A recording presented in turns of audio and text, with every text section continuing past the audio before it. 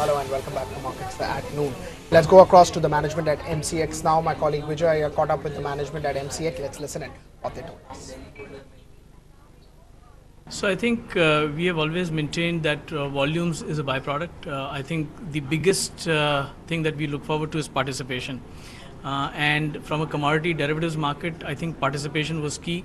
We always wanted more participation coming either through uh, the increased distribution channels or through more categories of investors. And in that uh, perspective, uh, the fact that uh, uh, Axis Securities has taken the opportunity to be the first of the block and, and, and be there as a banking subsidiary in this business, taking the benefit of the regulatory changes is a very, very significant step. Um, we have consistently maintained that we believe there's a 15 20% upside to our overall business uh, by the banking subsidies coming in. Uh, and in that perspective, today is a very big day for us. Chidukra, if I could ask you, do you see clearly the first mover advantage coming to you? How do you see this uh, development?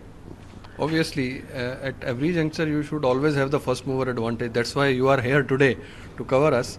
And you have to stay ahead of the curve. Maybe when the SEBI allowed last year, we were the first to get empaneled, and we are the first to start today.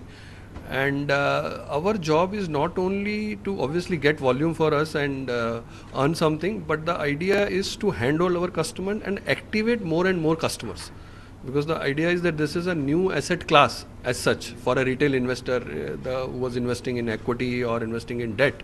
Now he can also invest here and also there are people who want to hedge. This is another opportunity and uh, we have large bank base and we have branches all over axis bank.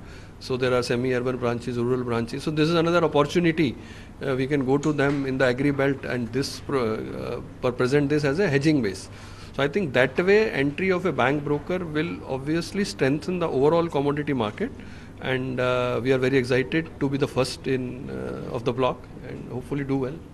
Vishwan, if I could uh, ask you, as you're rightly saying, 15 to 20 percent of the overall upside that you would be looking at.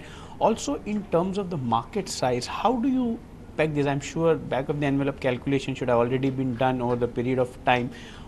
How significant would be when say next six to nine months when we see more uh, banking subsidiaries joining, would this be the game changer for the commodity markets? If I could ask you in that sense. Uh, so I. Uh, like I said, the three game changers we've, we've been looking forward to. The banking subsidiaries is the first one. Uh, the second game changer we believe is when we complete the bouquet of products, uh, and I think index uh, based trading in commodities is on the anvil. We are hopeful that it will happen. Okay, let's move right on and focus in on another important story. CBI is tightening its noose on Mehul Choksi.